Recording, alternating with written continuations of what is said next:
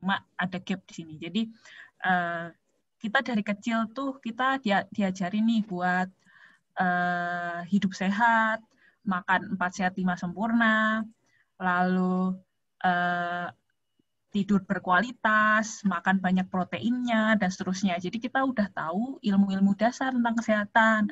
Lalu ketika kita sakit, kita datang ke dokter gitu. Nah seharusnya uh, sisi keuangan juga seperti itu. Kita seharusnya punya prinsip-prinsip dasar, pengetahuan dasar tentang keuangan. Nah ketika kita sakit, kita datang ke financial advisor gitu.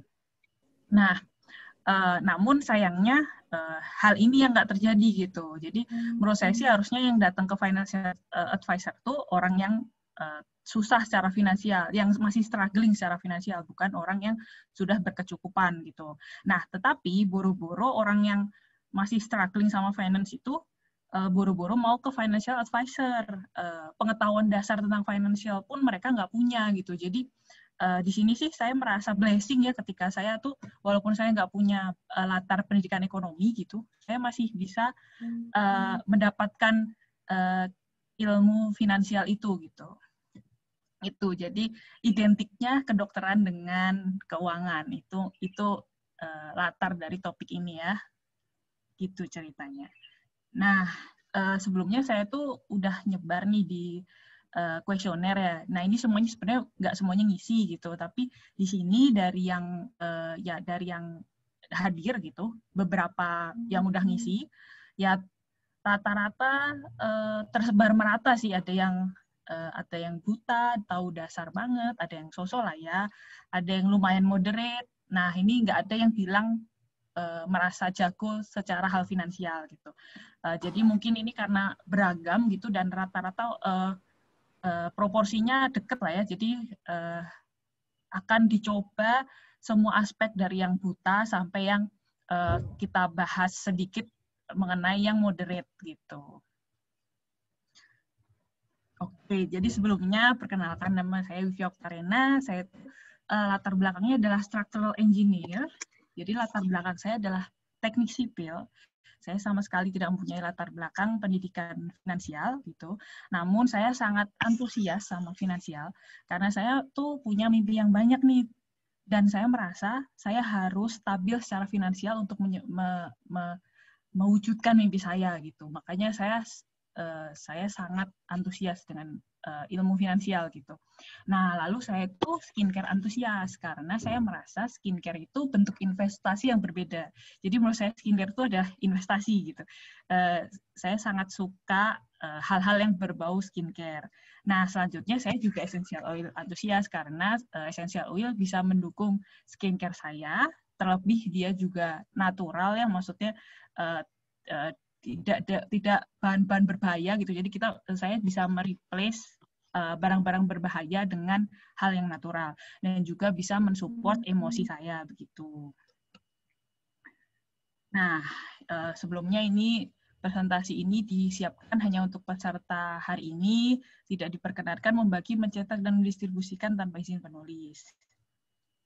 Selanjutnya ini disclaimer juga, jadi ini adalah perjalanan finansialku. Uh, saya sama sekali tidak mempunyai latar belakang ekonomi dan finansial di pendidikan formal. Uh, saya tidak mendapat pengetahuan finansial uh, hingga SMA. SMA pun satu pelajaran ya tentang ekonomi gitu. Tapi itu sangat general kan. Nah, namun ketika saya masuk kuliah tuh, entah kenapa saya itu sangat interest saya saya sudah sadar kalau finansial itu penting gitu. Nah, makanya waktu itu saya gabung kedua unit mahasiswa. Yang pertama adalah kelompok studi ekonomi pasar modal ITB dan yang kedua adalah uh, unit koperasi gitu. Nah, di unit koperasi kebetulan saya juga menjadi depart, uh, saya masuk ke departemen keuangan dan pernah juga jadi maganger of the year. Uh, lalu ya itu adalah uh, jadi saya mempunyai komunitas itu, saya mau menyoroti kalau komunitas itu sangat penting untuk me, untuk me, untuk mengembangkan kita gitu. Nah, di situ saya tuh belajar ekonomi ekonomi mikro, makro, lalu saham itu sendiri, lalu uh, di koperasi menjalankan uh, toko dan juga uh, kantin dan itu bikin laporan keuangan juga gitu. Jadi sebenarnya saya tuh dapat ilmunya tuh finansial. Cuma saya itu merasa saya tuh nggak benar-benar meresapi dan me mengemalkan gitu. Karena meskipun saya belajar saham saya nggak langsung masuk tuh ceritanya. Uh, langsung langsung investasi gitu nggak. Tetapi saya mendapatkan akses ilmu ekonomi itu gitu. Nah lalu uh, nah, uh, saya lulus tuh saya lulus. Nah dari saya lulus sampai uh, saya kerja saya uh, udah nggak punya komunitas lagi. Jadi saya fokus ke teknik sipil ceritanya Uh, jadi saya sempat lupa tuh teori-teori itu saya sempat lupa. Hingga akhirnya saya selama tiga tahun tuh saya benar-benar kayak udah udah nggak udah nggak cari tahu lagi gitu. Nah lalu uh, setelah saya masuk kerja tuh orang-orang uh, yang pertama mendiskusikan tentang ekonomi mungkin di sini ada mungkin Kak Naomi ya. Jadi waktu itu uh, saya waktu saya cerita sama Kak Naomi mungkin itu ngomongin deposito lalu obligasi dan seterusnya lah ya gitu. Tapi itu nggak sering gitu, cuma uh, sekali dua kali gitu. Lalu habis itu saya bertemu teman lagi, namanya mungkin kalau di sini ada David Christian waktu itu. Uh, saya sering berdiskusi gitu. Nah, hal-hal itulah yang akhirnya men-trigger saya untuk membuka kembali tuh apa uh, tentang prinsip-prinsip finansial saya gitu. Jadi mulai lagi saya baca lagi Robert Robert Kiyosaki dan seterusnya gitu. Jadi mulai saya dalami lagi lah dan akhirnya saya praktekkan gitu. Jadi ceritanya kayak gitu tuh. Gitu. Oke, jadi nah menurut saya sih yang pertama yang harus dilakukan ya buat merencanakan finansial itu yang pertama adalah dapatkan grand why-nya gitu. Kenapa sih teman-teman mau uh, mengatur finance teman-teman gitu. Dan menurut saya why-nya itu harus cukup kuat.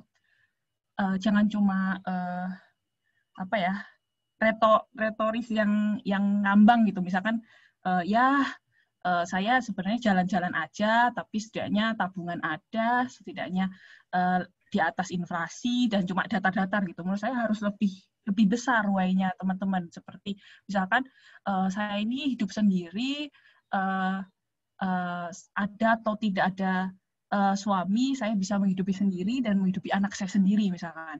Atau saya ini uh, saya ini penghasilan udah banyak, tetapi dua tahun lagi orang tua saya mau pensiun, saya mau support kedua orang tua saya. Pokoknya harus grand uh, way-nya harus cukup kuat sehingga teman-teman tuh mendapat tujuan yang sangat jelas gitu.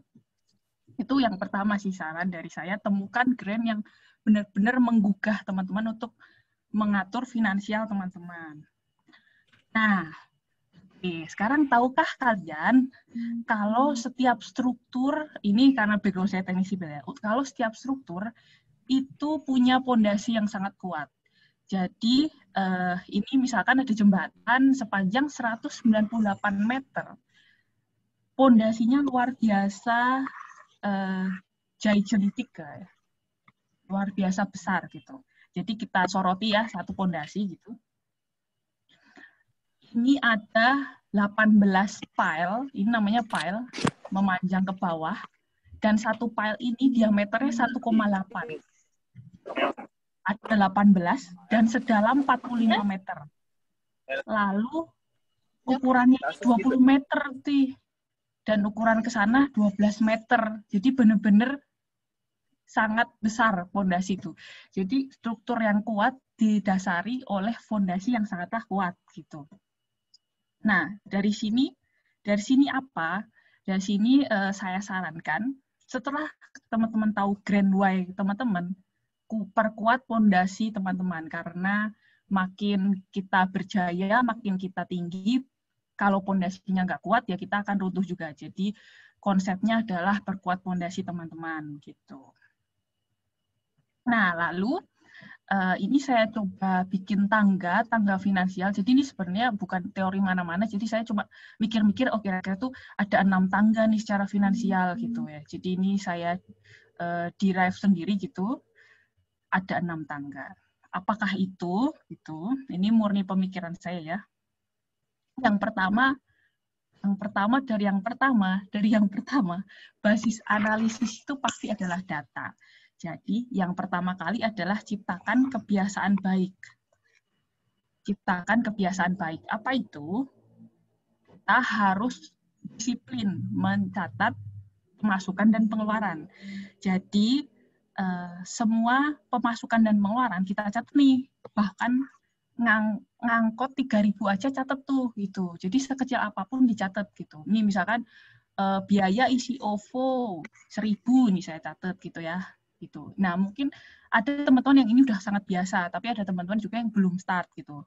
Untuk yang belum start mungkin ini sesuatu yang uh, apa ya uh, sulit dan males gitu mungkin ya. Tapi lama-lama setelah menjadi kebiasaan ini sangat mudah gitu. Apalagi sekarang ini WFH. Ketika WFH itu kita men-track pengeluaran dan memasukkan itu lebih mudah daripada kita men-track cash flow di dompet kita gitu. Kenapa? Karena sebenarnya semuanya sudah tercatat. Kita tinggal lihat di story gitu. Jadi sangat mudah sebenarnya di WFH ini gitu. Nah, jadi dari pengeluaran ini nanti akan keringkas di bulanan. Jadi uh, uh, ini cash flow-nya nanti keringkas di sini nih gitu. Jadi ini pengeluaran ini dimasukin di sini nanti akan keringkas di bulanan. Nanti ini adalah uh, balance akhir lah ya. Jadi uh, jadi akhirnya gitu. Ini nih kalau kita klik akan menjadi seperti ini. Jadi di sini tuh ini saya tutup ya saya tutup ya angkanya. Jadi si, saya tuh punya pos-pos kayak gini. Itu ada yang cash pun saya catat gitu ya deposito saya catat gitu. Nah, nanti ini ada tunai awal, ini misalkan bulan Maret gitu. Maret 2020. Nah, nanti pengeluaran di sini tuh hasil dari uh, ringkasan bulanan ini. Nah, terus nanti tunai tersisanya kelihatan gitu. Nanti di sini fungsi kontrolnya di sini. Jadi tabungan saya bener nggak angkanya segini, segini, segini gitu. Soalnya nanti ada pemasukan juga bagian sini. Nah, jadi kita akan kebiasaan baik. Ini yang uh, pertama lah ya. Ini adalah level pertama nih. Kalau misalkan teman-teman belum melakukan ini, berarti teman-teman ada di level satu gitu. Nah, misalkan udah nih, udah ya, udah, udah, udah menciptakan kebiasaan baik. Jadi di sini tuh kita itu selain dapat income statement, dapat juga cash flow sebenarnya cash flow cash flow gitu. Nah, habis itu setelah itu masuk ke tangga nomor dua. Tangga nomor dua itu adalah pastikan pemasukan lebih besar daripada pengeluaran. Nah, biasanya sih teman-teman udah sih sebenarnya. Biasanya uh, walaupun dikit biasanya udah lah ya gitu. Jadi biasanya itu level 2 itu udah sebenarnya. Nah, dari udah ini bisa masuk ke level 3 yaitu melakukan optimasi. Perbanyak pendapatan kurangi pengeluaran gitu. Jadi kita optimasi. Nah, dari dua opsi ini saya lebih suka memperbanyak pendapatan. Karena ya itu lebih melatih kreativitas kita dan kita jadi ya taraf hidup kita bisa naik sebenarnya gitu sih. Jadi ini prioritas pertama, tapi ini juga bisa dilakukan, tetap dilakukan gitu. Nah, make another source of income. Jadi uh, ciptakan arus uh, keuangan uh, arus pendapatan baru gitu. Nah ini dari uh, teori gitu, secara garis besar ada garis besar ada tujuh uh, pemasukan sebenarnya. Ada yang earn income, profit income, interest income, royalty income, dividend income, rental income, capital gains gitu. Nah, teman-teman dari sini ada yang misalkan udah bergabung ke yang living yang bisnisnya misalkan. Nah, itu kan menurut saya sih teman-teman itu menambah earn income sama profit income gitu. Nah, misalkan teman-teman yang udah dosen gitu, bikin uh, buku, bikin hak cipta, menurut saya menambah royalty income. Lalu teman-teman yang udah punya bisnis kos-kosan misalkan, menambah rental income, dan seterusnya lah ya. Interest itu kalau pinjemin uang, lalu dapat bunga, lalu dividen kalau teman-teman udah mulai punya kepemilikan perusahaan dan seterusnya capital gains juga gitu jadi saya sih prefer maksimalkan dulu ini karena ini menambah kreativitas kita. Jadi kayak misalkan oh ya jadi dosen kita bikin uh, apa karya cipta kita bikin buku dan seterusnya. Jadi itu kan sebenarnya mengeksplor kreativitas kita ya. Jadi saya lebih positif hal itu gitu. Nah, sekarang langsung ada pertanyaan nih, penghasilan saya bertambah bahkan dua kali lipat, tetapi persen yang saya tabung kok sama aja ya? Kita mulai bertanya-tanya, kenapa ya kira-kira? Nah, sebenarnya alasannya itu ada beberapa. Yang pertama, penghasilan meningkat itu akan disertai pajak yang meningkat. Itu pertama. Yang kedua, uang itu memperjelas kekurangan, kelemahan manusiawi kita. Jadi kalau kita punya uh, pola menghabiskan apa yang diperoleh, ya uang itu sebenarnya hanya memperjelas kita gitu. Jadi otomatis bahkan eh, bahkan uang itu memperjelas hal yang tidak kita ketahui tanpa kita sadari gitu. Jadi ya mempoint out itu gitu. Ternyata oh ternyata pola kita itu memang menghabiskan apa yang kita peroleh gitu. Nah, yang ketiga kita itu selalu punya kemampuan untuk menghasilkan uang. Itu ada ada di pendidikan das, pendidikan info, apa pendidikan formal kita ya. Jadi kalau misalkan uh, saya sebagai teknik sipil gitu, saya sangat mampu menghasilkan uang dari pendidikan formal itu gitu. Namun uh, jika tidak mempunyai kecerdasan finansial, ya itu jadi kurang biasanya orang-orang kurang punya kecerdasan finansialnya untuk me, untuk memanage uang itu gitu. Makanya hasil-hasilnya ya savingnya tetap sama gitu. Jadi sebenarnya ada alasan ini sih. Kecerdasan untuk menghasilkan uang ada, namun kecerdasan untuk mengatur uang itu tidak ada gitu. Jadi jangan bingung ketika eh, teman-teman bertanya-tanya kenapa ini terjadi ya. Nah, lalu ada dua aspek ya, memperbesar income, mengurangi expense.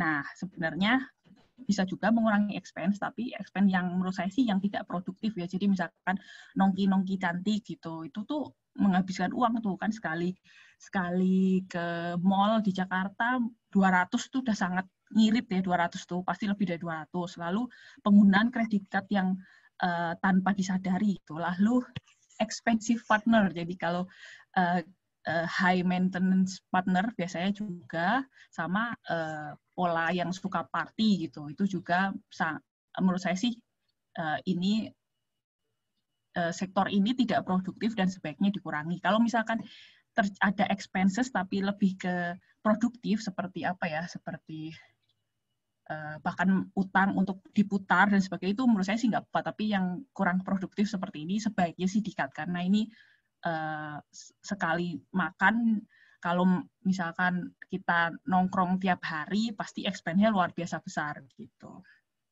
Jadi saran saya sih cut yang tidak produktif gitu. Nah, lalu mana dengan uh, saya nih, saya saya mau sharing aja nih dari hasil track record gitu ternyata uh, pengeluaran saya ini dari 100% pengeluaran ya itu tempat tinggal yang terbesar lah ya dua tiga. Habis itu berimbang nih antara uh, eh, IR, makan, belanja gitu. Lalu saya punya pos juga buat self development. Ini tuh biasanya kalau saya beli buku, lalu ebook, daftar webinar, terus apa ya?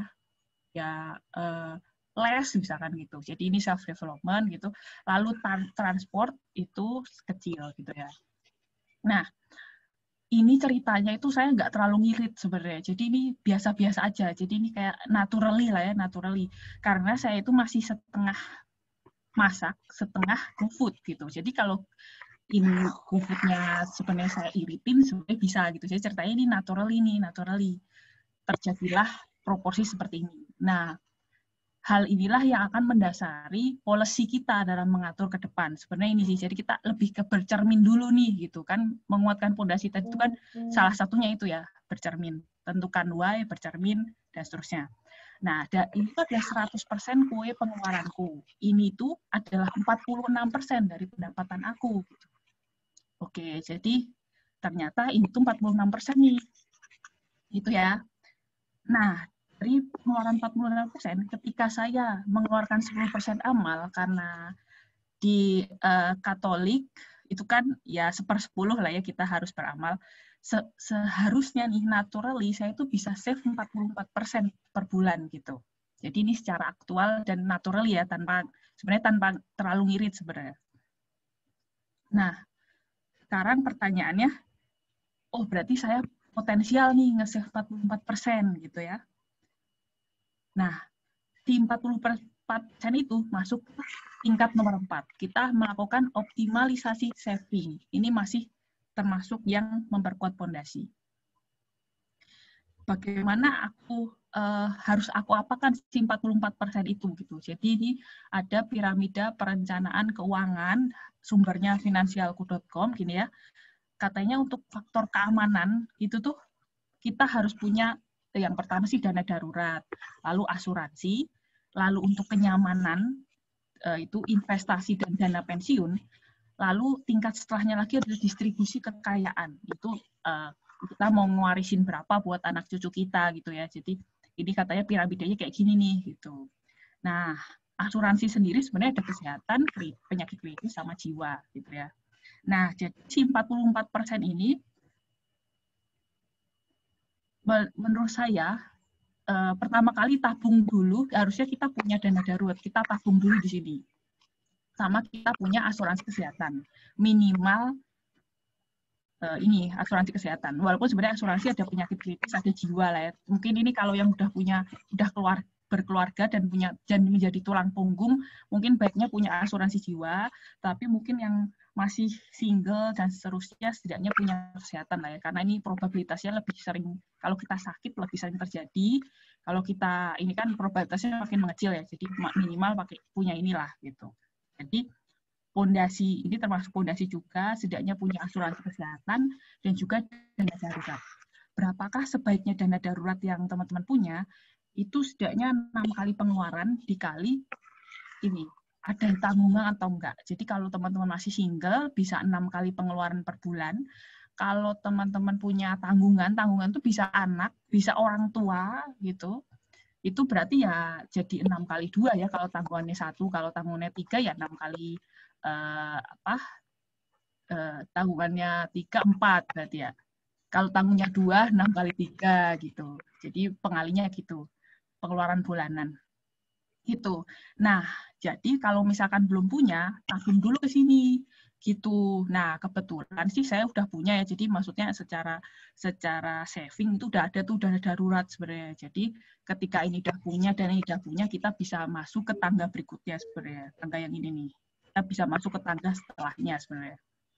Nah, kebetulan dana darurat ini udah ada nih misalkan, udah ada enam kali pengeluaran pengeluaran ya. Nah, harusnya dana darurat ini di-save di mana? Tuh. Konsep dana darurat ini adalah bisa ditarik sewaktu-waktu. Jadi, taruh di instrumen yang aman dan liquid. Namun, ketika 100% dimasukin ke tabungan, itu sebenarnya sangat sayang. Sebaiknya 50% kasih ke tabungan, karena dia sangat aman dan sangat liquid ya. Nah, 50% lagi bisa teman-teman kasih di uh, apa instrumen yang tetap aman dan tetap liquid, namun ya paling uh, nggak bisa ditarik di weekend gitu misalkan. Jadi reksadana pasar uang, deposito yang tenor rendah dan seterusnya gitu. Targetnya setidaknya adalah kalahkan inflasi di sini gitu. Jadi teman-teman punya optimasi dana darurat gitu. Nggak semuanya 100% ditaruh di tabungan. Tetapi ketika ada apa-apa tetap punya nih gitu. Kalau misalkan sakit di hari Minggu gitu masih ada uang gitu maksudnya. Gitu ya maksudnya.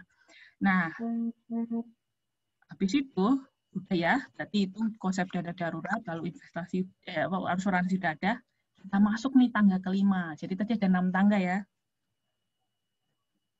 Yang di sini ada enam tangga. Ya ini menurut saya sih, menurut saya ada enam tangga. Jadi bukan dari teori mana-mana, jadi kayak kayak bikin grid ya aja sendiri. Nah, kalau kita udah masuk nih ke tangga nomor lima, kan dana darurat udah punya ya udah dioptimasi juga nih 50% ke tabungan, 50% ke instrumen yang lebih lebih apa ya, lebih returnnya lebih besar tapi tetap sangat aman gitu. Gitu. Nah, lalu asuransi juga udah punya. Kan ini udah punya semua. Si 44% ini berarti bisa kita tarik nih ke investasi. Makanya ada level nomor 5 yaitu investasi. Nah, investasi kok ada banyak ada deposito, obligasi, reksadana, saham, emas, dolar, bahkan reksadana ada banyak ya, reksadana pasar uang, reksadana pendapatan tetap, reksadana saham, reksadana campuran, dan juga reksadana indeks. Jadi banyak banget sebenarnya produk-produk investasi.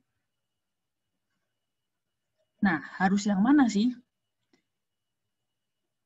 Nah, tiap orang tuh jawabannya berbeda. Investasi yang tepat untuk tiap orang tuh berbeda. Hubungan uh, tergantung return dan juga profil resiko dari orang-orang itu sendiri. Jadi uh, return ini berhubungan sama tujuan teman-teman. Tujuan teman-teman. Jadi tentukan tujuan, tadi kan udah tahu ya tujuannya. Lalu uh, butuh return berapa untuk mencapai tujuan itu, lalu sesuaikan dengan profil resiko. Jadi misalkan kalau returnnya harus 30% gitu, tapi tapi turun satu persen udah nggak bisa tidur ya itu kan nggak sehat juga ya. Jadi baiknya uh, sesuai lah di, diatur bisa teman-teman atur gitu. Berdasarkan return yang berhubungan dengan tujuan dan juga profil resiko teman-teman. Nah ini menurut saya uh, apa ya ini juga tangga menurut saya. Jadi biasanya sih orang-orang tuh pasti punya reksadana pasar uang dolar sama emas itu buat uh, pas apa buat biasanya pas uh, punya ini sama ini misalkan. Itu buat profil resiko paling rendah. Dan itu saya dulu. Jadi saya start investasi itu dari yang paling rendah. Jadi saya awal-awal tuh hanya mengkombinasikan ini sama ini gitu. Nah profil resiko itu bisa meningkat seiring uh, pengetahuan kita gitu ya. Nah ada juga orang yang mengkombinasikan ini RDPU dolar emas dengan RDPT obligasi. Lalu ada juga teman-teman yang mengkombinasikan ini, lalu properti reksadana campuran saham P2P lending sama saham ini. Jadi ini kombinasinya bisa satu, lalu ini bisa dua, ini bisa tiga gitu. Nah, jadi kenapa ini tuh suka dipegang karena ini tuh kayak reksadana pasar uang tuh bisa dibilang uh, nggak nggak apa nggak rugi sih. Nggak nggak pasti nggak rugi gitu. Bisa dibilang hampir pasti tidak rugi.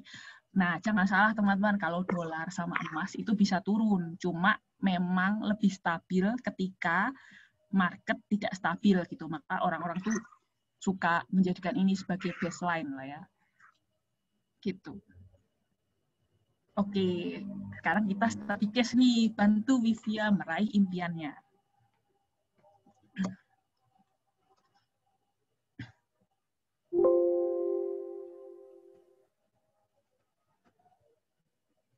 Kita share ya uh, lagi. Misalkan Vivia tiga tahun lagi ingin menikah, ingin punya rumah satu miliar, ingin punya mobil 300 juta gitu. Tiga tahun lagi misalnya. Berarti kan kebutuhan dana sekian ya. Nah, misalkan ceritanya Vivia sudah punya calon sehingga ya kebutuhan dananya ini dibagi dua ya, 750 juta. Nah, dari 750 juta ini dibagi dua. Dan ini misalkan tiga tahun lagi ya, Livia ingin menikah tiga tahun lagi. Lalu ini inflasi per tahun ini harus kita sesuaikan. Sebenarnya ini jangan inflasi saja, sesuaikan juga dengan inflasi rumah gitu. Inflasi harga mobil gitu dan juga ya rate kenaikan harga nikah gitu maksudnya. Jadi ini harusnya disesuaikan datanya gitu. Misalkan 3% misalkan ya. Tapi walaupun biasanya properti itu tinggi sih, bisa jadi 10% gitu ya. Nah, berarti kan eh, tiga tahun lagi, eh, kita kan butuhnya eh, 750 juta. Terus misalkan uang yang Vivia miliki sekarang 300 juta. 750 juta ini adalah present value sekarang tiga tahun lagi 750 juta ini pasti akan naik seiring berdasarkan ini apa kenaikan harga dan juga inflasi sehingga tiga tahun lagi Wivia harus mempunyai eh, sekitar satu miliar gitu. Nah sehingga gimana caranya satu miliar itu Wivia dapatkan selama tiga tahun. Misalkan Wivia bisa investasi setiap bulan 7 juta atau mungkin eh, kalau mau kita pesimisin misalnya 5 juta gitu. Nah, ini estimat uh, secara tiga tahun gitu, coba kita lihat. Oh, ternyata uh, Wivia harus, setidaknya ini kan ini deket ya ini ya, setidaknya Wivia harus invest di uh, produk yang returnnya 30% nih, gitu. Gitu. Kalau mis ya kalau misalkan ya sini ini berarti Wivia harus masuk ke saham gitu. Nah, kalau misalkan Wivia bisa save untuk investasi 7 juta. Uh, ini coba kita turunin 15%, apakah masih bisa ya? Oh, masih belum ya. Jadi kayaknya harus 20. Ya dikit lagi ya. Berarti harus kisaran 20 lebih ya. Ini bisa Wivia bisa masuk ke reksadana saham, saham dan juga uh, peer-to-peer lending yang 20 gitu. Atau mungkin uh, uh, apalagi ya yang bisa mungkin uh, sebenarnya sebenarnya itu uh, yang urgent misalkan nikah dulu misalkan. Nikah sama mobil eh nikah sama rumah misalkan. Mobil ini sebenarnya belum urgent misalkan. Nah ini misalkan kita with ya investasi 10% ya kurang sedikit ya 12% ya kira-kira berarti Vivia bisa menikah dan membeli rumah uh, dengan investasi tiga tahun per bulannya Wivia nge-save 7 juta sama 300 ini dimasukin ke investasi gitu. Nah, ini dimasukin ke reksadana pendapatan tetap uh, atau reksadana indeks juga bisa uh, yang intinya produk yang punya return 12% gitu. Jadi gitu. Strategi buat mencipta uh, me, mencapai impian gitu. Jadi uh, sekali lagi yang namanya investasi tiap orang berbeda, sesuaikan dengan tujuan.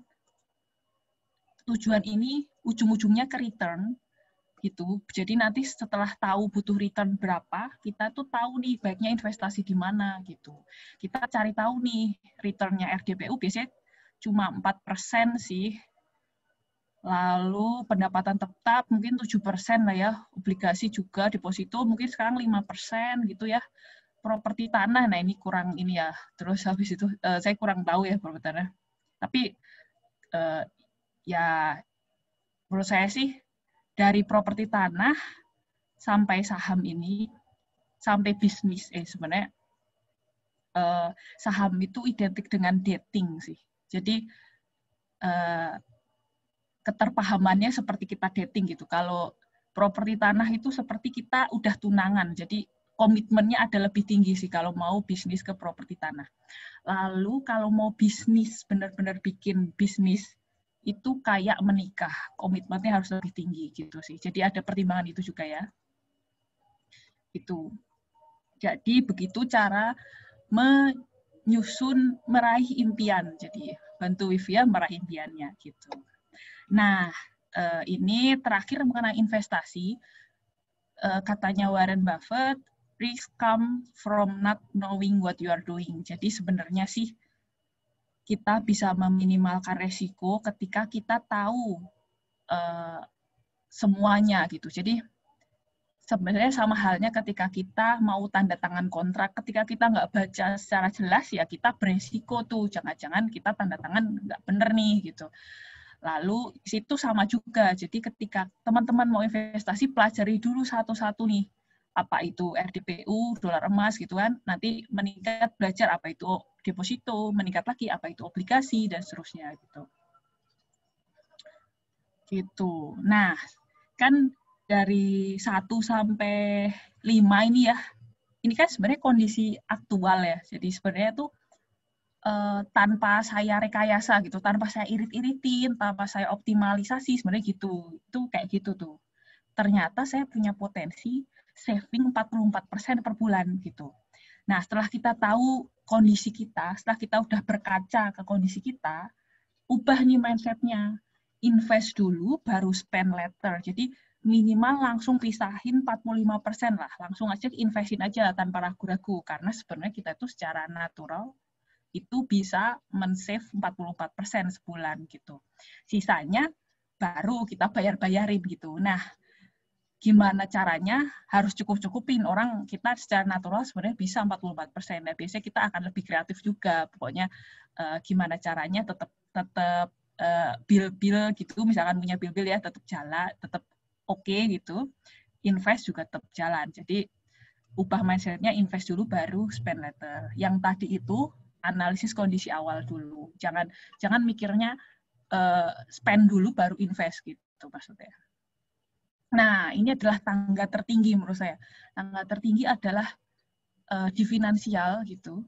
Itu bikin bisnis teman-teman sendiri. Ini menurut saya memang tangga tertinggi, tapi sekali lagi menurut saya kalau saham itu kayak dating, belajar saham itu kayak dating, belajar lalu apa belajar masuk ke properti itu kayak kayak apa tunangan agak naik lah ya itunya komitmennya. Nah, bikin bisnis itu kayak menikah. Jadi harus komit gitu. Di sinilah di sinilah bedanya bisnis. Tapi uh, uh, kalau saham ini kan sebenarnya teman-teman mempercayai orang untuk memutar uang teman-teman. Nah, kalau di bisnis ini teman-teman mem memutar teman-teman aktif untuk memutar uang teman-teman sendiri. Jadi di sini menurut saya sih tangga tertinggi memang uh, bikin bisnis teman-teman sendiri gitu. Bisnis di sini benar-benar yang teman-teman rintis dari awal gitu. Jadi murni punyanya teman-teman gitu. Gitu sih. Itu adalah enam tangga yang menurut saya yang sebenarnya saya bikin sendiri sih. Menurut saya uh, harusnya finansial seperti itu gitu. Nah, sekarang tahukah kamu gitu kan sebenarnya teman-teman tuh punya arus kas tadi ya udah masukin arus kas. Tadi sebenarnya step 1 sampai step 2 itu udah bisa dapat arus kas sama income statement atau laporan laba rugi. Nah, ketika teman-teman udah punya aset, udah punya uh, apa? rumah liabilitas rumah bisa liabilitas bisa aset ya. Pokoknya ininya punya mobil, rumah, uh, tanah misalkan, lalu uh, ada pengeluaran juga lalu habis itu uh, apa ya misalkan hipotek gitu misalkan nah itu tuh teman-teman bisa punya balance sheet. Jadi ini tuh adalah uh, apa ya udah rangkuman antara aset dan juga eh uh, dan juga liabilitasnya gitu. Jadi ini udah rangkumannya gitu gitu jadi sebenarnya teman-teman bisa punya neraca keuangan teman-teman sendiri gitu nah jadi sebenarnya itu individu itu identik sama perusahaan sih sebenarnya. Jadi uh, kalau teman-teman mau bikin bisnis juga baiknya teman-teman bisa mengatur teman-teman sendiri sebelum sebelum mengatur uh, finansial bisnis ya. Nah, nah ini ada tahukah kamu lagi seterusnya kan kita punya ya laporan tiga ini. Nah, berdasarkan finansial.com sebenarnya itu rasio tabungan baiknya lebih besar dari 20%, rasio pendapatan pasif di pasif income tuh baiknya lebih besar dari 50% nih. Likuiditas 6 sampai 12, aset likuid terhadap nilai bersih kekayaan kurang sampai dengan 15%. Utang terhadap aset kurang dari 50%. Jadi jangan banyak-banyak utang ya, kurang dari 50% lah ya. Kalau utang produktif sebenarnya nggak apa-apa, tapi jangan lebih dari 50%. Lalu kemampuan pelunasan utang itu harus kurang sama dengan 35%, rasio aset bersih investasi dalam nilai bersih kekayaan lebih besar sama dengan 50%, rasio solvabilitas besar sama dengan 5%. Jadi ini tuh adalah, kan teman-teman suka ya medical check up, nah ini sebenarnya adalah financial check up gitu.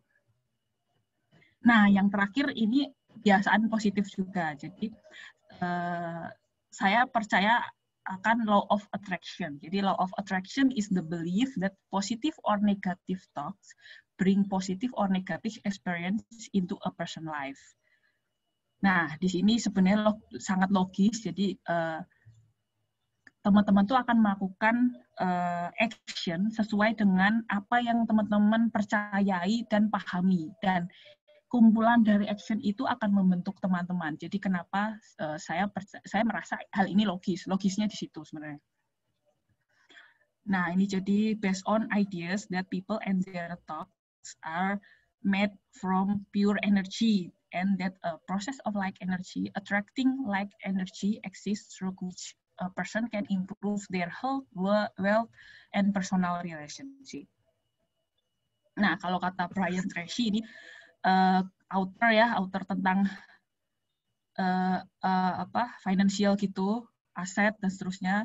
You are a living magnet what you attract into your life is in harmony with your dominant thoughts. Jadi saya percaya itu. Itu. Nah, ini afirmasi positif, jadi teman teman-teman harus punya envision juga, uh, harus percaya kalau uh, kita ini membuka uh, hidup berkelimpahan gitu. I am financially free and live abundantly gitu. Jadi yang pertama kita harus personal development jelas, harus perlu bersyukur juga, lalu banyak memberi. Eh, percayalah kalau kita banyak memberi kita akan banyak menerima. Lalu kita harus meditate sebenarnya untuk lebih menenangkan diri dan uh, bisa terbuka lah ya pikirannya.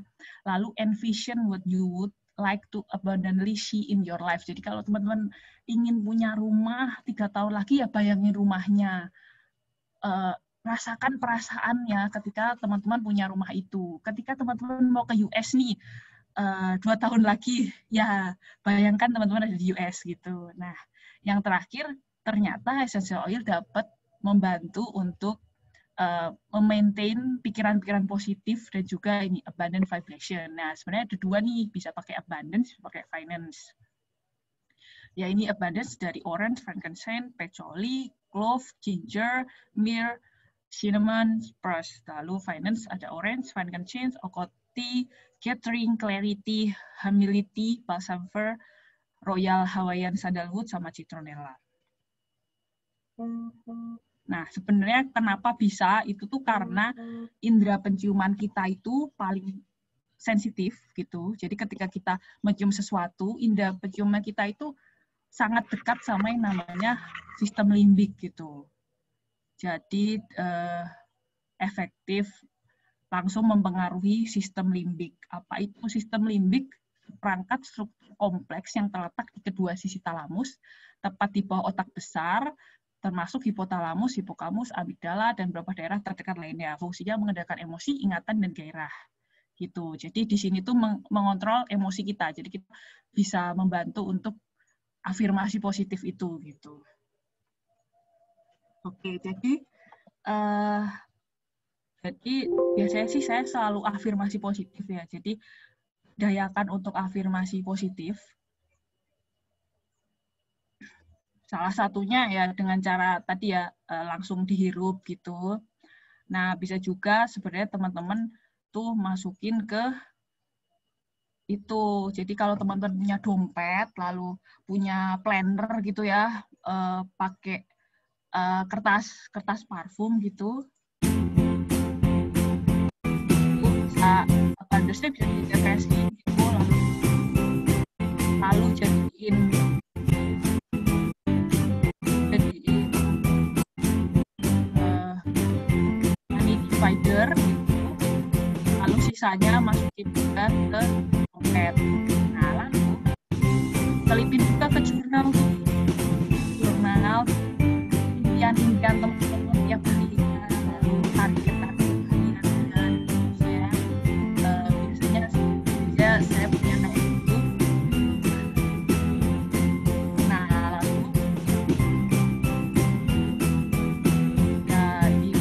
ya ya. Targetnya harian ini weekly planner sih tapi apa pun bisa jurnal bisa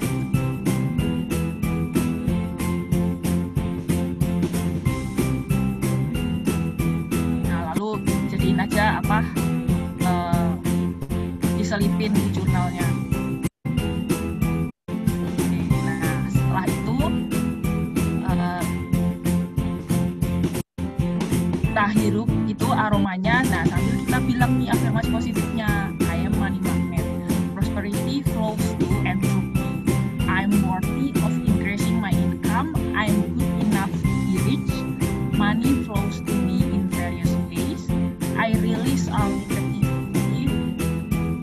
Abundance mindset receive all the abundance of life. I embrace putting off first I realize unlimited wealth in my life. Jadi ya kita master dari hidup berkelimpahan kita.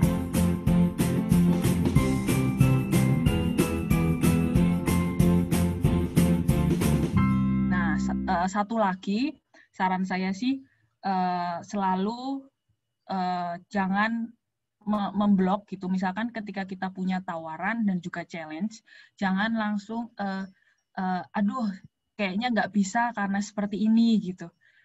Uh, jangan jangan uh, jangan langsung menolak gitu. Kalau kalau bisa kita welcome akan semua challenge yang ditawarkan gitu. Jadi makin kita mm, makin kita welcome dan membuka diri itu pasti akan uh, akan akan berdatangan gitu kelimpahannya akan berdatangan gitu sih. Jadi jangan banyak excuse sih saran saya. Kalau ada challenge, ada kesempatan untuk melompat lebih tinggi, ambil aja karena di situlah law attraction kita. Gitu. Ini pseudo science, science sih, tapi uh, menurut saya sangat logis sih. Jadi kita harus membiasakan mindset positif. Nah, uh, mungkin nanti kita akan tanya jawab nih Kan kita akan tanya jawab ya. Nah, di sini uh, Wivia udah selesai sharingnya. Uh, bentar, bentar Ji, bentar. Waduh. Nah, di sini ada challenge sih terakhir. Uh, challenge. Uh, jadi kan uh, ini kan tentang sharing finansialku nih. Nah, saya ingin dapat feedback nih. Kira-kira uh, gimana yang teman-teman dapatkan dari uh, saat ini. Uh, di posting di feed Instagram atau IG Story mengenai apa yang teman-teman dapatkan dari sharing hari ini, tag The Living Well sama W Oktarena N, lalu sertakan hashtag. Nah, saya tunggu sampai 12, uh, Senin tanggal 12 jam 12. Nah, nanti untuk tiga postingan tertarik, uh, menarik atau story menarik akan ada hadiahnya gitu. Oke, selanjutnya terima kasih dan kita masuk ke tanya jawab ya. Wah, thank you Wivia for sharing. Kayaknya sangat uh, informatif banget ya. Nah, ad, emang ada beberapa nih yang nanya. Pertama itu uh, Shali nanya, ada nggak sih aplikasi yang gampang gitu untuk nyatet-nyatet? Karena kan lumayan repot ya untuk nyatet-nyatet uh, pengeluaran kita gitu, apalagi emak-emak gitu. Uh, sebenarnya sih gimana ya? Hmm, uh, sebenarnya mana cocok-cocokan sih. Jadi misalkan aplikasi itu ada banyak, Excel tuh juga ada banyak sih sebenarnya Ci sekali. Jadi kadang-kadang uh, tuh misalkan nih saya download template yang mana nih saya nggak cocok nih sama Excelnya, jadi saya bisa pindah lagi, pindah lagi gitu.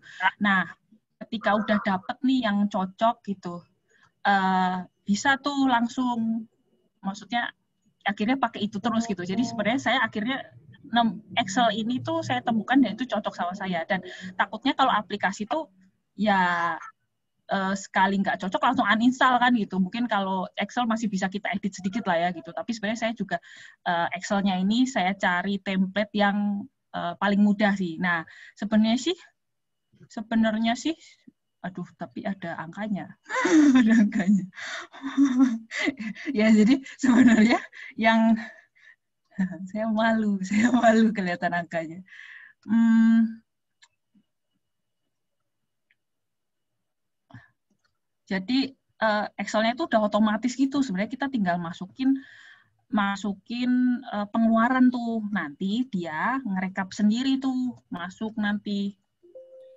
Mungkin formulanya kali ya, Wivia. Harus kita iya. tulis formulanya ya? Iya sih. Tapi ya mungkin bisa saya share ya Excelnya kalau angkanya udah saya delete. Ya, mungkin uh, karena ada juga nih LK atau IK ya. Dia bilang Excel-nya nanti bisa bagi nggak ya? Soalnya di layar dia tadi dia juga blur banget gitu, yang tadi uh, Excel. Oke oke, iya iya. Ya, jadi ada dua sih. Uh, yang pertama itu kita buat pencatatan harian gitu. Sebenarnya itu Excel-nya untuk satu bulan sih. Jadi kita tapi kita catat hari gitu. Itu itu Excel yang pertama. Nah yang kedua itu uh, apa namanya yang kedua itu yang itu. Untuk kira-kira saya ini untuk mencapai impian itu harus harus mendapatkan return berapa gitu. Itu sih ada dua sih. Ini mungkin saya buka lagi ya yang Excel uh, mana ya? Kalau aplikasi Nanti. itu sih uh, kurang fleksibel ya. Kalau aplikasi, kalau kita nggak cocok sedikit ya ya udah nggak bisa diganti-ganti gitu kecuali kita kontak developernya kan gitu. Nah ini sebenarnya itu otomatis gitu sih. Jadi ketika kita nyatet di sini dan ini catatnya per hari gitu. Jadi biasanya saya bukain tuh GoPay, saya catat historinya. Lalu BNI ini saya buka catat historinya. Terus uh, apalagi nih? Oh iya ini beli Indomie Panadol Jakut pakai cash gitu ya. Lalu ya jadi tiap tiap pos-pos tabungan itu bisa saya buka saya catat gitu. Nah ini tuh otomatis ketika kita sudah selesai di sini dia tuh otomatis kerekap di ringkasan bulanan sama ringkasan cash. Ringkasan cash ini ya bentuknya kayak gini. Jadi nanti si tadi itu udah rekap otomatis tuh di sini. Kita tinggal masukin aja uh, tunai awal, tinggal sisa nanti tunai tersisa gitu. Terus uh, di sini juga ada yang bagian pemasukan ya, jadi nanti si uh,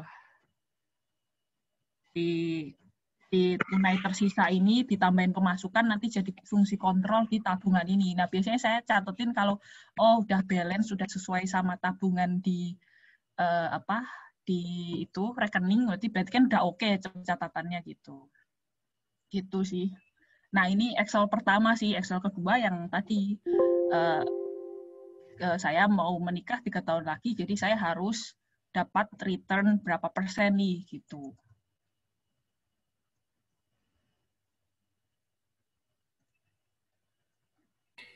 Paling nanti kasih formulanya aja kali ya, Wivia, atau gimana? Ya, boleh, boleh.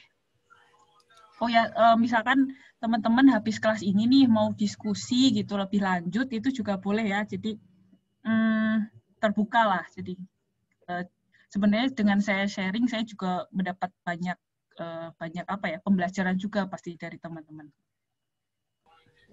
Saling belajar lah intinya ya. Iya benar. Uh, Mbak Leli ada nanya nih, Wivia kasih saran dong persentase dari kebutuhan pokok, dana darurat, investasi itu idealnya gimana ya? Berapa-berapa gitu. Ada nggak sih hmm. idealnya? Berapa persen, berapa persen? Biar kita tahu, oh kita sehat nih secara financial atau eh ternyata selama ini nggak sehat nih atau gimana? Ada nggak sih patokannya? Uh, sebenarnya sih baiknya sih hmm, tapi ini uh, apa ya agak subjektif juga ya. 40 persen teman-teman bisa bisa in, uh, invest dan saving gitu udah sangat baik gitu. Jadi ya uh, ya mungkin hmm, pengeluaran mungkin ya di bawah 60 persen lah ya gitu.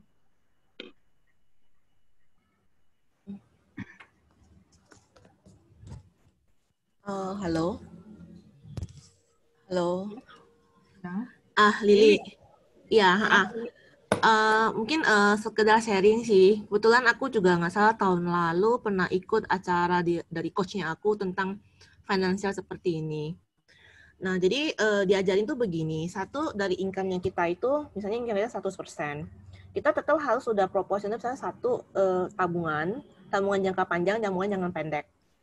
Lalu uh, kesehatan, misalnya asuransi, Lalu biaya uh, satu lagi cost untuk kita upgrade skill. Uh, jadi saya upgrade skill itu kepala ke atas kita perlu banget. And then uh, biaya buatnya kita punya laser laser uh, laser spend kita sama yang terakhir itu uh, apa donasi. Nah satu lima enam deh nggak salah. Itu tetap sudah harus kita post post masing-masing dan kita atur aja dari income-nya kita itu kita mau ini berapa, ini berapa. Ya maksudnya kadang kalau dipatokin kadang misalnya mungkin aja entah kita, ih kebutuhan saya yang lain tuh masih masih banyak nih gitu loh kan. Nah, saya bisa kalau menurut saya sih itu terbalik lagi ke diri kita masing-masing. Nah, misalnya untuk uh, spend kita tuh mau berapa persen untuk yang kita jangka panjang, jangka pendek, udah tuh untuk uh, pendidikan kita lagi, mungkin kita misalnya ngambil course atau workshop buat kita naikin skillnya kita kan memang perlu ya. Uh, habis itu ya itu satu sama uh, laser time jangan lupa kita harus ada uh, laser kita kayak misalnya kita punya having fun lah buat kita sendiri gitu loh jangan kita capek-capek udah kerja tapi kita nggak dapat buat buat jajan diri kita sendiri gitu loh jadi kita manjain diri kita tuh juga masih harus perlu gitu loh supaya kita nggak stres kerjanya kan. Nah, terakhir itu donasi tetap harus. Jadi semuanya tuh dikombinasi. Itu sih yang ilmu yang aku dapat dulu ya. Jadi dan aku sih sebenarnya sudah sejak nikah itu udah ngebiasain dari awal itu apalagi sejak punya anak pasti mikirnya anak. Oke, dari umur satu tahun udah saya mikir waktu dia kuliah aku sudah harus masuk nih uang nih eh, investasi buat eh, asuransi jangka panjang buat nanti biaya pendidikannya dia. Nah, kita cari aja hunting misalnya uh, bagian uh, apa misalnya mungkin asuransi yang pendidikan atau mungkin reksadana atau apa yang menurut kita memang itu bagus ya kita masukin aja gitu loh. Dan itu memang benar-benar kita harus komit. Saya kemarin jalan lima tahun sampai sudah selesai kontrak lima tahun, udah udah biarkan uang itu berkembang sendirinya. Nah, itu buat jalan-jalan nih, udah kita tahu nih tahun depan kita pingin jalan-jalan, misalnya mau ke Bali. Satu keluarga kan lumayan ya, kosnya juga gede gitu kan. Nah, udah mulai simpen gitu loh. Satu bulan saya satu juta gitu kan, atau lima ratus ribu atau berapa lah. Nah, sisanya masih ada lagi uang yang lain lagi. Jadi saya tuh minimal tuh sekarang kayak jadinya ada ada tiga, tiga, tiga tabungan di bank. Satu tabungan buat daily spend supaya itu kita ketahuan. Dua yang lagi uh, spend buat yang jangka panjang sama spend jangka pendek. Nah, jadi jadinya kita harus ada posisi. Mungkin kadang kalau kita taruh di rumah pakai amplop kan kayaknya pasti masih bisa cheating ya. Ini satu satu terus saya sengaja cari bank itu yang susah dapat ATM-nya. jadi lebih kita jadi kita nggak cheating cheating gitu. Jadi oh ini gue mau buat ini nih, gue mau buat ini nih. Itu sih kalau aku sama ini ah, saya buat. Nah belakangan dapat informasi lagi, oke okay, main di forex. Akhirnya saya jadi mainnya saya nggak jadi trading, tapi saya jadi bandar. Saya invest uang saya di sekuritas. Yaudah akhirnya dengan satu tahun itu sudah return 40%. Apa maksudnya return 40% setahun kan udah gede sekali dibandingkan kita simpan di bank kan dengan bunga bank atau deposito pun itu kalah. Nah, di situ saya jadi maksudnya jadi maksudnya lebih jadi tertarik belajar uh, kita belajar investasi dari uang kita. Itu sih sharing aku. Thank you. Terima kasih uh, Lili atas uh, sharingnya gitu.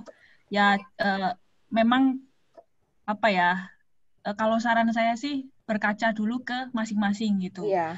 Jadi cocoknya mana gitu. Nah, paling enggak tuh naturally dulu tuh. Kan sebenarnya kita kayak tadi kan sebenarnya saya naturally dulu ya tanpa saya cobain apa kurang-kurangin gitu. Nah, ini tuh sebenarnya naturally gitu. Jadi saya tuh masih uh, nge-go food gitu. Saya ini masih belanja dan masak gitu. Jadi saya tuh nggak irit banget jadi masak gitu misalkan ya. Terus saya itu masih sempat IR gitu. Hmm. Terus saya juga masih sempat self development nih 12% gitu. Itu sih. Nah, ini tuh setidaknya ini dulu apa pahami dulu kondisi awal gitu. Nah, baru lakukan rekayasa tuh misalkan mana yang bisa di-cut expenses-nya dan seterusnya gitu. Nah, sebenarnya itu secara naturally tanpa saya melakukan rekayasa, saya ini uh, kayak gini nih masih lumayan gitu. Masih empat apa pengeluaran si ini tuh masih 46% dari pendapatan. Jadi sebenarnya uh, masih cukup masih cukup kan ya buat amal gitu. Masih sebenarnya tuh secara natural saya bisa save 44% gitu secara natural gitu. Nah, habis tahu nih kondisi itu baru melakukan rekayasa itu semua optimalisasi dan uh, ubah mindsetnya invest dulu, spend later gitu. Jadi 44% itu pasti akan mudah untuk tercapai karena itu kan tadi kita juga berdasarkan apa histori aja gitu kan ya. Jadi sebenarnya itu potensi sebenarnya si 44% itu bisa teman-teman saving gitu. Nah, jadi habis itu ya itu spot spot lain kan tadi sebenarnya nggak terlalu ngirit ya sebenarnya saya masih bisa lebih ngirit lagi sebenarnya saya dan gitulah. Jadi uh, setidaknya pahami dulu, berkaca dulu. Jadi kita tuh uh, cermin dulu baru kita merencanakan ke depan itu sih dan benar uh, apa namanya uh, berawal dari mimpi gitu ya nah mimpi itu kan tadi bisa banyak ya sebenarnya saya itu agak saya itu uh, ya bisa juga pendidikan pendidikan kuliah di Unpar gitu. Nah, cuma saya nggak tahu nih biaya pendidikan di Unpar itu berapa gitu. Misalkan saya punya anak sekarang umur 4 tahun, berarti uh, 7, 17 masuk kuliah kan berarti 17 kurang 4 11 tahun nih 11 tahun ke depan saya harus nyiapin uang berapa misalkan ya itu tadi mak masuk ke Excel yang tadi tuh saya, jadi buat si anak ini saya harus minimal invest berapa sampai nanti anaknya masuk unpar gitu. Nah, uh, bisa ini ya biasanya tuh alasan, nah itu alasan yang kuat. Jadi si Lili udah punya alasan yang kuat tuh untuk anak, pokoknya apa apa buat anak. Nah itu itu yang menurut saya tuh cari way yang sangat besar, jangan cuma uh, apa ya, cuma ngawang-ngawang gitu. Itu kurang sih awalnya saya kurang saya kayak gitu sih awalnya saya masih kayak hmm, ya lumayan lah pemasukan lumayan terus saving bisa banyak gitu tapi saya nggak uh, nggak nggak ngelihat nggak benar-benar konkret menghitung lima tahun ke depan tiga tahun ke depan 20 tahun ke depan dan seterusnya gitu jadi kalau bisa tentukan buah yang sangat kuat sehingga teman-teman itu uh, menjalani apa mengatur ini tuh konsisten gitu nah Nah, bisa juga selain pendidikan itu biasanya apa ya? Oh, pensiun. Biasanya kan pensiun ya. Pensiun nih. Nah, kalau pensiun tuh ngitungnya uh, ya apa umur rata-rata target itu kan orang 85 tahun ya. Lalu kita uh, pensiun 55. Kalau dosen 65 ya. Nah, ini kan berarti selisihnya ada 20 tahun ya. 20 tahun dikali pengeluaran harian gitu. Nah, ini adalah dana pensiun yang teman-teman harus siapkan selama misalkan sekarang umur 2 berapa? 28. Berarti uh, masih masih 22, 27 ya, masih 27 tahun lagi gitu. Nah, itu harus tersimpan 20 kali misalkan 6 juta per bulan berarti ya tiga tiga berapa ini? Eh 120 ya 120 juta. Nah nah ini lalu kita cari nih produk yang pas returnnya harus berapa biar tercapai tujuan ini gitu. Nah itu makanya tadi investasi itu harus melihat return return efeknya ke tujuan tujuan. Kalau tujuannya tinggi banget pasti butuh return yang tinggi sih. Tapi juga disesuaikan sama risk profile uh, kalau misalkan teman nggak teman-teman nggak bisa tidur gitu ya nggak sehat juga. Jadi ya pokoknya sesuaikan aja sama teman-teman gitu. Jadi udah sangat bagus nih yang dilakukan sama Cisali gitu. Mungkin teman-teman ada yang uh, mau sharing lagi? Uh, ini Angel ada nanya rasio solvabilitas itu maksudnya gimana, Wivia? Rasio solvabilitas, rasio besarnya aktivas yang didanai dengan hutang. Gitu sih. Kalau punya utang sih ya. Oh, jadi kayak misalnya kredit mobil kayak gitu itu udah termasuk utang dong ya? Oh iya, benar seperti itu. Jadi oh. aktiva itu kan aset ya. Nah, kita dapatnya dari hutang. Nah, rasionya itu ya, rasio solvabilitas itu. itu hmm. Oke, siap-siap. Nah, tadi ada yang minta juga kata-kata afirmasi positifnya, soalnya musiknya terlalu besar, nggak kedengeran. Oh gitu ya, ya, ya. Oke, oke, siap-siap. Boleh, boleh. Uh, Miss Alvin ada nanya nih, buku yang direkomend buat baca apa nih, Wivia? Ya menurut saya sih hmm, start paling baik itu Rich Dad Poor Dad sih start paling baik. Robert T. Kiyosaki. Tadi Cilisa udah bilang ya perasaan ya? Robert Kiyosaki. Ya uh, ya kata Cilisa bener tuh report Robert T. Kiyosaki Cilisa manajemen kan ya? Pasti jago juga nih Cilisa. Eh Cilisa. Terus uh, apa namanya uh, soalnya sebenarnya ini sih menurut saya sih Robert Kiyosaki itu dia to the point gitu nggak banyak nggak banyak uh, apa nggak banyak cerita gitu. Sebenarnya dia ada ceritanya tapi dia termasuk to the point jadi enak sebenarnya. Nah uh, tapi mungkin sebenarnya sih saya tuh udah baca si Robert Kiyosaki itu dari kuliah sih waktu saya masuk ke unit uh, ekonomi pasar modal tuh ya. Jadi saya tuh pertama kali kenal Robert Kiyosaki dari situ gitu. Saya baca tuh, nah tapi tuh nggak nggak langsung nggak langsung diresapi dan dilakukan gitu. Jadi saya masih saya sempat tuh baca ulang baca ulang gitu.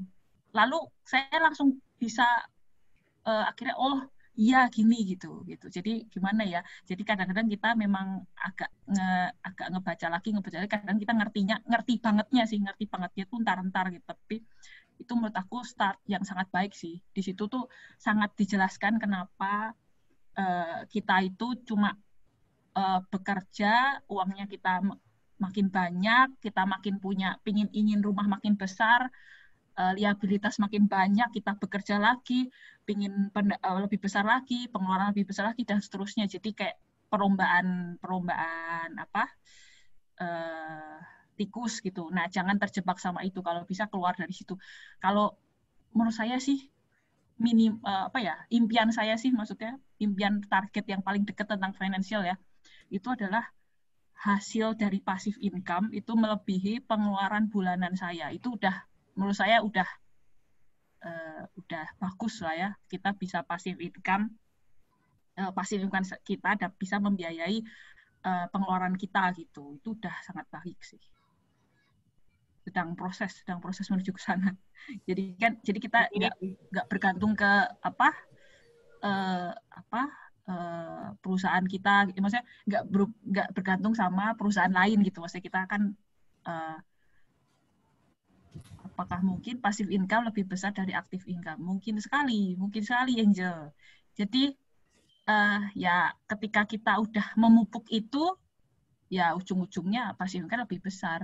Kayak kayak itu apa uh, Warren Buffett kan dia penghasilan dari sahamnya sendiri udah berlipat-lipat gitu, belum dividennya tuh. Belum dividennya dia juga berlipat-lipat, dia juga udah pensiun. Oh ya makanya kenapa ada orang pensiun dini gitu karena uh, dia udah udah pengeluaran dia itu sepersekian dari pendapatan pasif pasif income pasif income dia gitu. Jadi dia udah sangat santai gitu pensiun. Bahkan orang-orang kaya itu pensiun dini dan menjadi filantropis karena kebanyakan uang gitu. Jadi karena mereka kebanyakan uang jadi mereka jadi filantropis. Jadi kayak kayak Bill Gates juga kan dia kebanyakan uang ya, ya gitu. Jadi eh, kebanyakan orang kaya pensiun dini lalu jadi filantropis gitu. Tuh uh, ya uh, Ci Lisa bilang ada cash flow kuadran itu nomor setelahnya ya. Tapi menurut saya pertama kali baca Rich Dad Poor Dad dulu baru ke cash flow kuadran. Ada lagi nggak pertanyaan? Ada pertanyaan lagi teman-teman?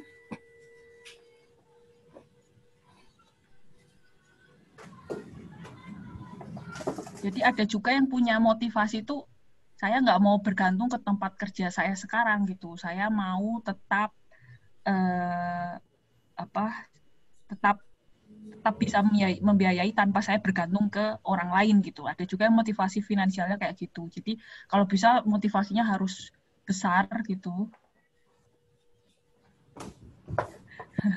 Wah, ini ada ini... ada yang ngomong nih. Apa? Dari David Christian.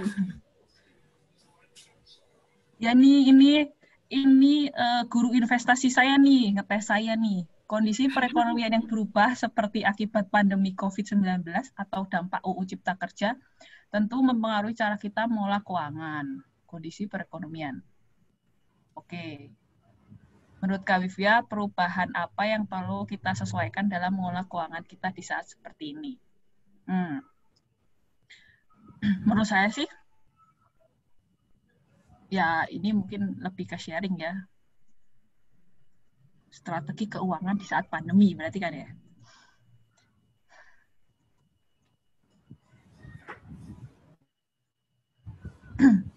Kalau saya sih hmm, gimana ya? Karena karena uh, ya sebenarnya saya tuh kalau ya sebenarnya kalau investasi sih saya sudah di saham, udah ada di uh, deposito, udah ada di USD udah ada di peer to peer gitu kan.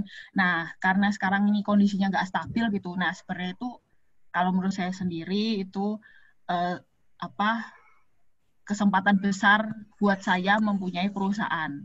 Nah, tapi sekali lagi pelajari dulu perusahaannya yang eh, yang eh, baik lah sama kayak kita mempercayakan uang kita ke orang yang terpercaya gitu ya. Jadi saya ingin punya kepemilikan perusahaan. Jadi uh, mumpung uh, sekarang lagi pandemi, saya akan uh, akan besar nih masuk ke sini gitu.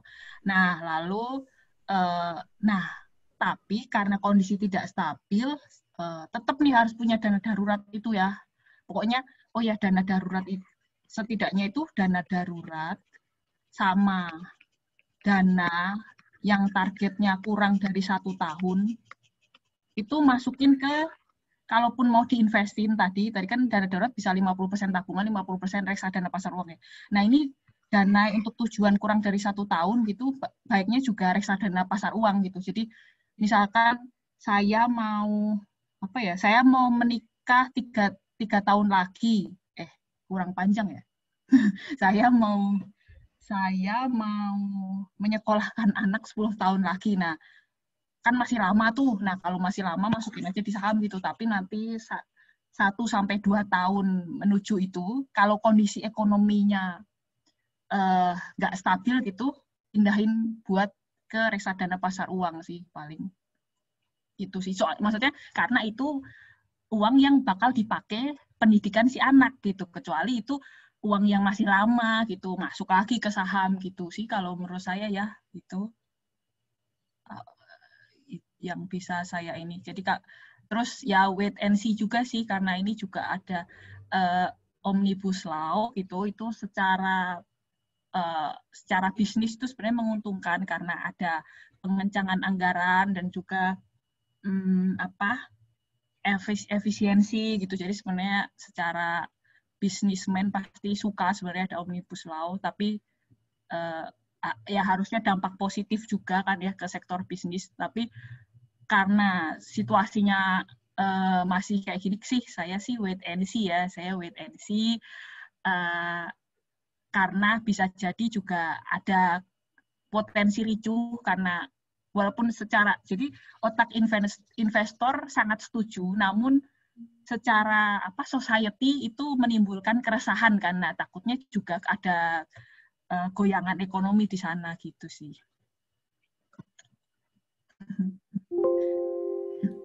Begitu penjelasannya. Ada pertanyaan jangan, lagi? Ini di tas gurunya benar gak nih? Apa, apa? Lulus apa enggak? Iya nih. Ngetes ini ngetes.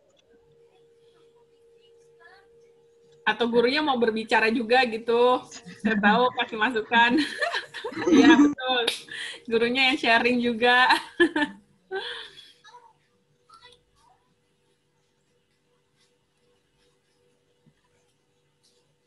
atau ada pertanyaan lagi teman-teman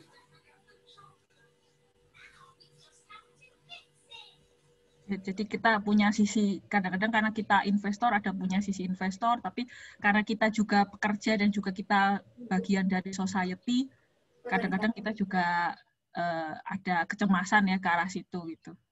Ada positif negatifnya sih ya.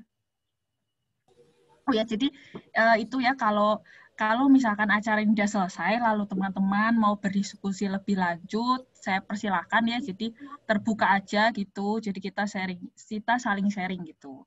Lalu uh, untuk yang melakukan challenge-nya gitu, ada tiga, ada tiga, ada tiga hadiah menarik lah buat yang uh, buat melakukan challenge-nya. Jadi saya dapat feedback juga nih ternyata mungkin ada yang benar-benar belum tahu misalkan atau mungkin ada yang udah tahu sekian nambah sekian gitu. Atau mungkin malah nggak nambah sekali nih gitu atau gimana gitu. Itu silahkan sharing nanti uh, tiga terbaik akan mendapatkan hadiah dari saya gitu.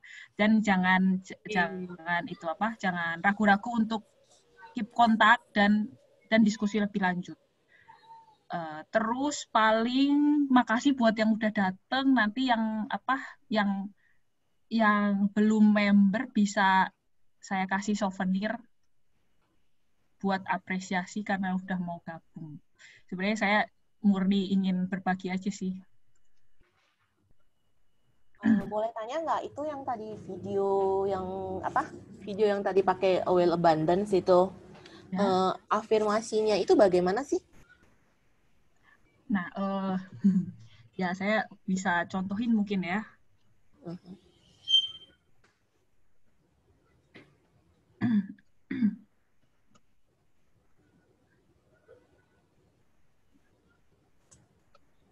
sebenarnya mungkin bisa keep ini karena uh, saya punya finance nih. Oh ya, abundance itu lebih ke kalau menurut saya sih aromanya lebih ke uplifting gitu. Jadi kalau saya paling sering nge-diffuse abundance kalau kerja karena lebih uplifting terus ceria gitu loh uh, yang saya rasakan ya.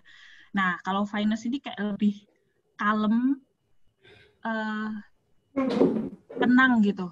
Uh, terus kan kalau abundance itu lebih spicy ya, kalau ini kayak lebih kalem gitu. Nah, ya kita kadang-kadang caranya tinggal gini aja sih, tiga tetes gitu, lalu diaktifasi, uh mm-hmm. -huh. lalu di biru-biru gitu, lalu ditaruh uh, ke nadi gitu ya, lalu uh, katakan I am financially free and live abundantly gitu. Jadi uh, dengan dengan sugesti positif itu buat menjalani hari itu. Nah, kadang-kadang juga itu ada pro tipsnya tuh masukin uh, beberapa tetes di di apa di jurnal kita, jurnal impian dan target kita dan juga uh, apa ke dompet kita gitu. Itu sugesti positifnya di situ. Nah, jangan lupa juga ini apa lakukan hal-hal positif itu. Jangan uh, setelah kita afirmasi positif kan pikiran kita udah positif tuh. Nah saatnya kita action ya. Saatnya kita action dengan cara ini apa personal development banyak bersyukur banyak memberi detail lalu bayangkan target ke depan lalu secara intensi merasakan kalau saya nanti bisa menyokolahkan anak saya anak saya bahagia gitu misalkan ya gitu. Jadi rasakan perasaannya gitu. Nah lalu sama saya tambahkan jangan mental block. Jadi misalkan ada challenge tuh, Livia bisa bla bla bla enggak minggu depan gitu. Nah kadang-kadang tuh kita ada sisi pesimis apa apa ya, pes, uh, apa insecure gitu. Uh, aduh jangan deh, jangan gitu-gitu. Nah tapi itu tuh sebenarnya hanya hanya kita memberi batasan sendiri ke pikiran kita. Jadi kalau bisa jangan banyak excuse. Kalau misalkan uh, base, uh, kapan dituntut apa gitu jangan jangan jangan lari lah jangan lari. Kalau bisa welcome gitu karena justru makin kita di situlah law of attraction-nya gitu. Jadi makin kita menebar dan makin kita uh, tidak memblok rezeki yang datang itu rezeki makin tambah gitu sih. Itu sih yang yang penting Bentar lagi nih pada nyari oil finance nih. Baru tahu ada oil finance.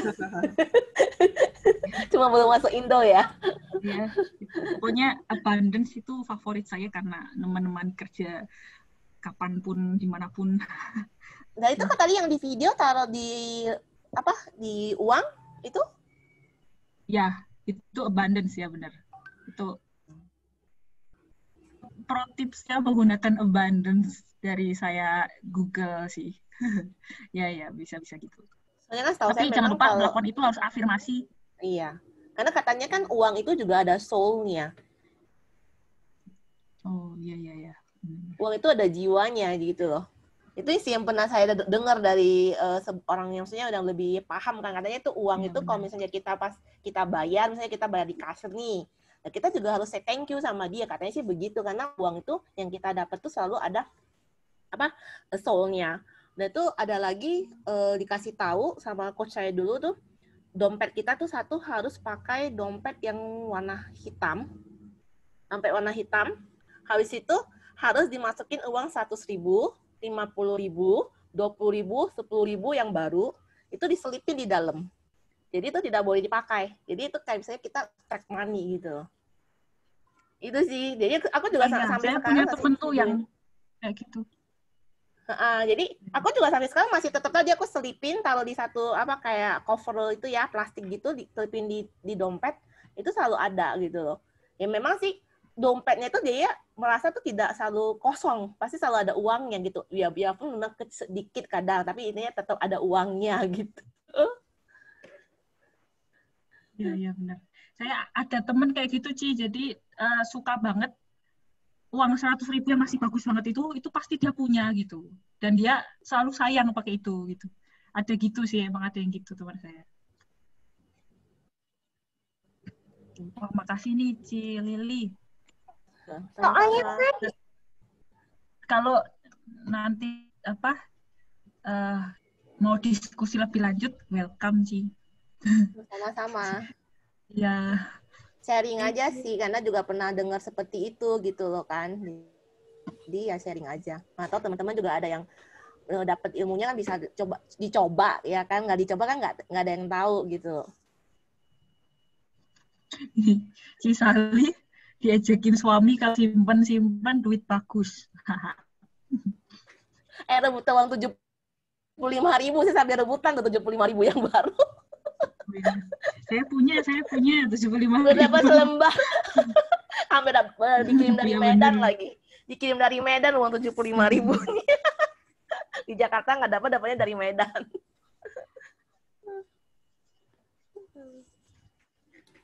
Wow, luar biasa. Aku belum dapat nih. Ada yang mau kasih nggak? nggak tahu diri. anyway, KTP satu gitu sih, Ci. Kenapa? Satu KTP satu tujuh puluh lima ribu. Iya. Itu tukernya di mana? Daftar aja, Vin, di di website. Nanti ditunggu ada jadwalnya. Jadi kita nanti oh. ke BI-nya kita tuker. Jadi buka aja websitenya. Oh gitu. Oke, okay, thank you. Teman-teman ada pertanyaan lagi gak? Jangan lupa ya challenge-nya. Tuh ada tiga hadiah menarik ya dari Wivia. yang ulang tahun tapi dia yang ngasih hadiah. Luar biasa. Ya. Mana tahu rezekinya nambah ya. Biar berkesan sih, biar berkesan di ulang tahun. Ya. ya rezekinya juga nambah. Amin. Nah, itu salah satunya mental abundance sih. Jangan jangan blok rezeki, jangan blok rezeki. Yes ada yang mau nanya atau atau mau sharing? Angel mau nanya atau mau sharing? Eh, tapi boleh sih, aku bilang yang baru ada new member, aku ada new member baru masuk. Aku provokasinya pakai WA Abundance ini. Lagi ke, ke WA, aku bilang, kan toko lagi sepi, apalagi yang lagi di mall kan, PSBB ya memang bisa ya coba aja aku bilang kalau nggak dicoba kan nggak ada yang tahu aku bilang kan. Emang ada di yang living ada oil seperti itu. Nah buat yang member baru boleh tuh diprovokasi. Jadi tertarik juga dia mau coba katanya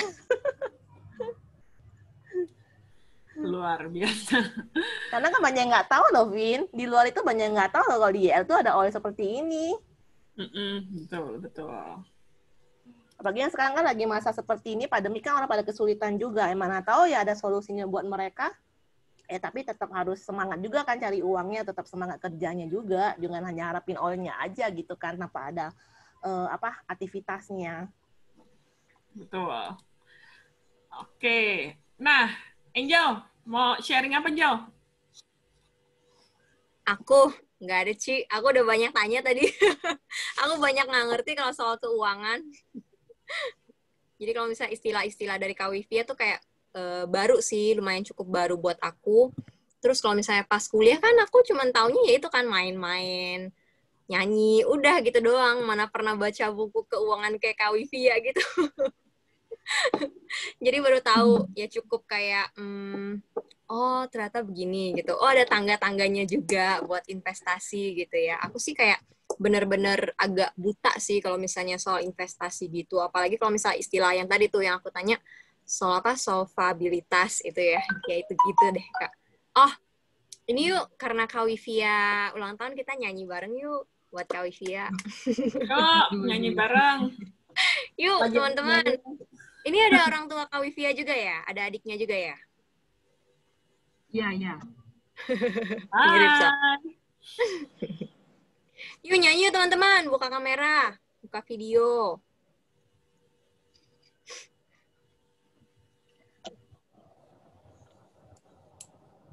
Aku pimpin aja ya nyanyinya, tapi nyanyi bareng. Nggak apa-apa, meski nggak sinkron nggak apa-apa.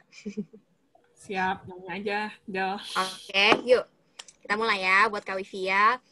Happy birthday, happy birthday. Happy birthday, Kawivia. Happy birthday to you. Happy birthday to you. Happy birthday, happy birthday, happy birthday to you. Yay! Birthday. Makasih Angel hadiahnya. Happy birthday. Dari Angel. Happy birthday Wivia. Thank you for sharing. Ya,